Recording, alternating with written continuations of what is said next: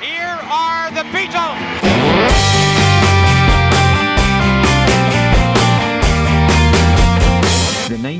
1960s, the Beatles, an unstoppable force in the world of music, riding high on the wave of Beatlemania. They had achieved a level of success that few bands could ever even dream of. Crowds of adoring fans, chart-topping hits, and even admiration from music legends like Elvis Presley. They used us as an excuse to go mad. The world did, and then blamed it on us. And we were just in the middle of uh, in a tr- in a car or so, hotel room. We couldn't really do much. It was just a, a drag, you know. We knew that they wouldn't hear anything because it's just, you know, like a riot and not, not sort of like a show, you know. It felt dangerous, you know. They were in this big movie. We were the ones trapped in the middle of it while everybody else was going mad. We were the, actually the sanest people in in the whole thing. Behind the scenes, the reality was not as glamorous as it seemed. The Beatles, once a tightly knit unit, began to experience internal tensions and conflicts. Their individual artistic visions diverged, leading to creative differences that would ultimately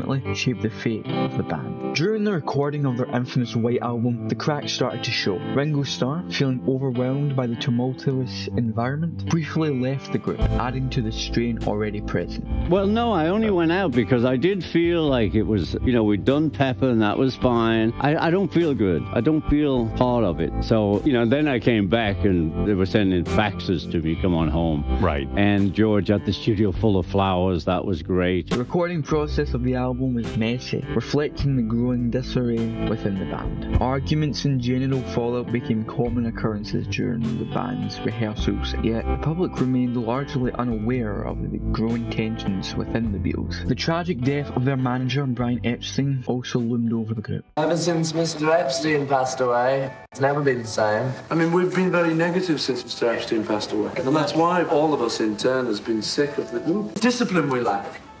We've never had discipline. We've had sort of slight symbolic discipline. Another catalyst for the breakup was the presence of Yoko Ono, John Lennon's partner. The Beatles had a rule that girlfriends were not allowed in the studio, but John broke this rule, causing friction with the other members, particularly Paul. The tensions between the two started to escalate from this. So, who or what caused the Beatles to split up? The truth is complicated. Decades of speculation and theories, yet no definitive answer. Was it John, Paul, or perhaps the effect of all their conflicts? We may never know for sure. Paul McCartney has suggested that John Lennon was the one who ended the Beatles, You, who broke it up? John, John did. Uh, that's a long story. while others have also pointed fingers at different people. With limited knowledge of what the band was like at the time, we can only make educated guesses about who or what truly led to the dissolution. And one thing is for sure, although we may never know the truth of why they broke up, it doesn't really matter. The effect the Beatles had will never be forgotten.